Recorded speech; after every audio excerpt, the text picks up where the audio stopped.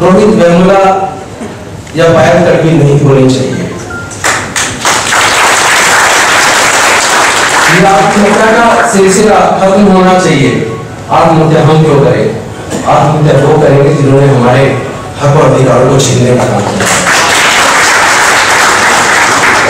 अभी चार दिन पहले आरएसएस के मोहन भागवत जी ने कहा, आरक्षण पे खुले रूप से खुले मन से चर्चा होनी चाहिए।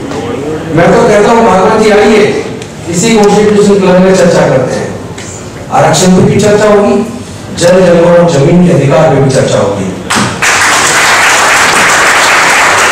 देश के अंदर जो खेती की ज़मीन है, जो प्राकृतिक संसाधन है, वो कोई अपनी माँ के पेट से लेकर पैदा नहीं हुआ। तो तुम इन सब के मालिक हो, हम क्यों नहीं? हमारा हिस्सा कहाँ है? हमें अपना हक लेना है।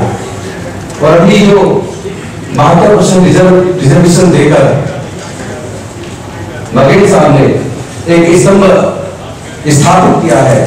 लेकिन उस स्तंभ को स्थापित करने के लिए जो इतने मज़बूत पिलर्स जो भी केवल बघेल साहब जैसे एक हैं, देश के कोने कोने में ऐसे पिलर्स हमें तैयार करने पड़ेंगे, खड़े करने पड़ेंगे, ताकि हम अपने समाज को मजबूती दे पाए। आंदोलन अभी जारी तो शुरू हुआ है। जिस तरह चारों तरफ़ हम देख रहे हैं, हमारे सारे अधिकारों में जिस तरह हमले हो रहे हैं और जिस तरह कॉन्स्टिट्यूशनल जितने भी संस्थाएँ हैं, उनको अपने कब्जे में जो भी एक साथी बोले थे रंगा बिरला जो गुजरात के रंगा बिरला ने पूरे संस्थाओं को अपने कब्जे में ले लिया है कोर्ट भी डरा सा दिखाई देता है, सारी संस्थाएँ भी डरी सी दिखाई देती है। तो लड़ाई जटिल है, कठिन है। जैसे हमारे साथी ने कहा था शायद हमारे चले गए।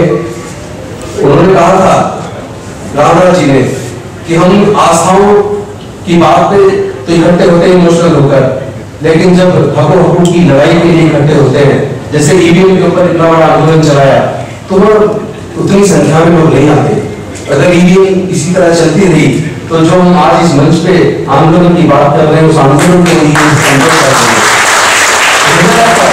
रहे को मज़बूत करने की ज़रूरत है कोई भी पार्टी हो, हर पार्टी में जहाँ जहाँ हमारे लोग हैं, मजबूती के साथ अपनी बात को रखें। और जितनी ताकत और जितनी पावर उनके अंदर है, अपने लोगों को उनका हक दिलाने के लिए इस्तेमाल करें। इन्हीं शब्दों के साथ अपने मान्यवरों देता अगर आपने अभी तक हमारा चैनल सब्सक्राइब नहीं किया है तो सब्सक्राइब करें और घंटी का बटन बिल्कुल भी दबाना ना भूलें, ताकि सभी लेटेस्ट खबरें पहुँच सकें आप पे सबसे पहले।